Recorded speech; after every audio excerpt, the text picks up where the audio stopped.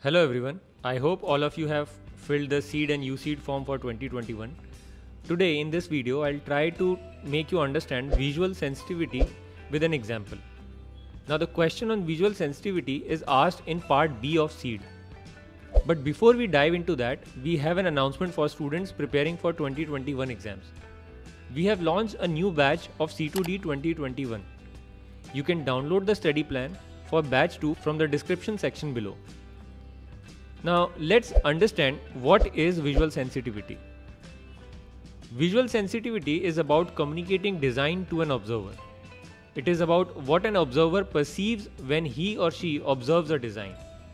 If the design is deviating from what it intended to convey, then the design is said to be visually sensitive. So it is not good to have a visually sensitive design and it is for the same reason that designs of complicated and expensive products are first simulated on software to test its sensitivity. Now, this is a vast and detailed topic in itself. For now, we can conclude that visual sensitivity is about communicating your design without deviations. This can be achieved if we keep in mind the importance of symmetry and regularity of forms and shapes in our design. To understand this better, Let's attempt a previous year question from CEED 2020 on visual sensitivity.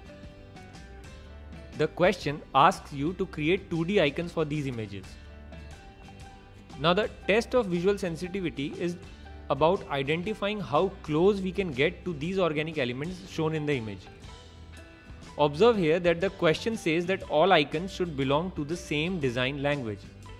This simply means that each icon should have similar shapes, similar attributes like line, color, shape or texture etc. I'll try to illustrate this better as we move ahead with the question. Now please understand that the aim of this video is to help you understand how to approach these questions in the exam and what should be the thought process. So the solution that I am going to come up with in this video may not be the only solution and you can have your own solution and explanation. But I'm sure that this iteration will be definitely helpful for you. The first thing that should come to my mind while I'm attempting this question is to simplify the image. To do that, I'll have to identify the basic elements in each image so that the image can be simplified. So for that, I'll first draw whatever I can observe in the image. It is not important to come up with the final design in this at this stage now. This process will help me to think so I would not think about avoiding mistakes at, at this stage.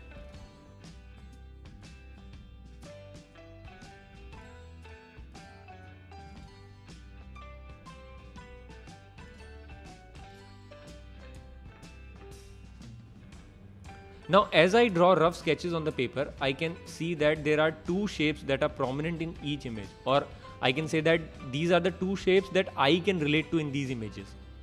This is a triangle and a rectangle.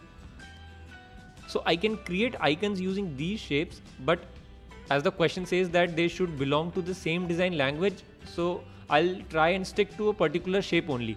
Let's say the triangular shape in this case.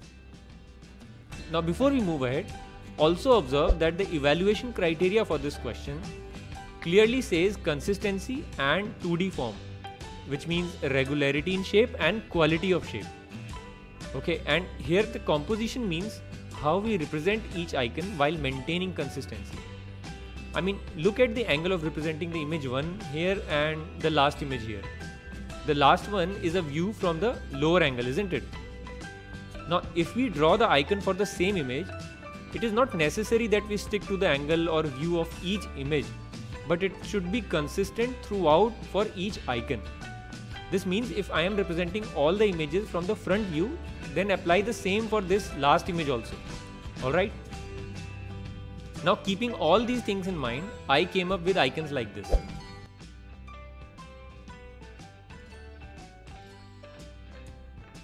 Also observe that to maintain the same design language, I have used almost similar triangles in each icon.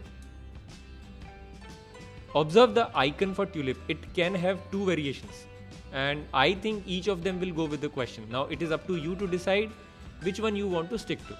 For me, these slanted icons will work.